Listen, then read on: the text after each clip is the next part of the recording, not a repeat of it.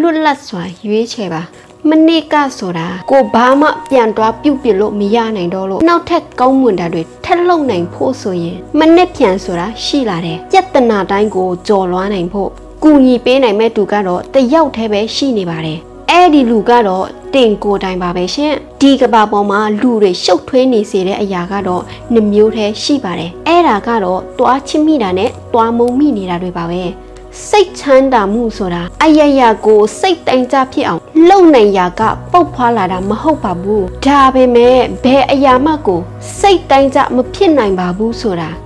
လက်ခံတဲ့စိတ်ကနေပုတ်ဖွာလာတတ်ပါတယ်လူတကိုအတွေးတစ်မျိုးတကိုတစိတ်စီမို့အတွေးအခေါ်မတူတာနဲ့တူတပအတွေးကိုတွားထင်မတေးမိပါစေနဲ့ရှင်စာဖတ်တတ်တာအရေးပါတယ် အခြေအနေကိုဖတ်တတ်တာကပိုအရေးပါတယ်တပားတူရဲ့စိတ်ကိုဖတ်တတ်တာပိုလို့တောင်အရေးကြီးပါသေးတယ်ကိုယ်စိတ်ကိုဖတ်တတ်တာကတော့အရေးအပါဆုံးပါပဲရှင်စဉ်းစားနိုင်ရင်ကူပြီးစဉ်းစားပေးလိုက်မစဉ်းစားနိုင်ရင်ကူပြီးလှုပ်ပေးလိုက်မလှုပ်ပေးနိုင်ရင်ကူညီပါဝင်လိုက်မပါဝင်နိုင်ရင်အားပေးလိုက်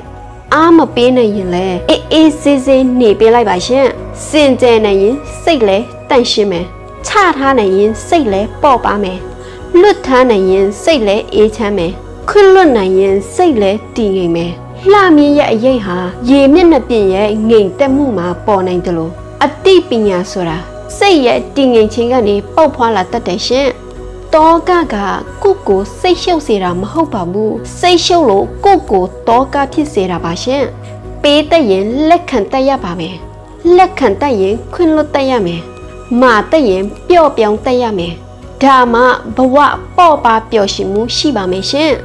ငိမ့်ချမ်းစိတ်ငြိမ်တဲ့နေရာအခုတရာတော်မှလည်းကိုယ်စိတ်ရဲ့တည်ငြိမ်မှုလောက်မကောင်းနိုင်ပါဘူးရှင်လူအယောက်တရာကျော်တည်နေလဲကိုကိုကိုတည်နေတာလောက်မကောင်းနိုင်ပါဘူးရှင်ကျေးဇူးတင်ပါတယ်ရှင်ဒီရိုဖိုင်ကိုတပေါ်ကြရင်ပြန်လဲမျှဝေပေးလိုက်ပါရှင်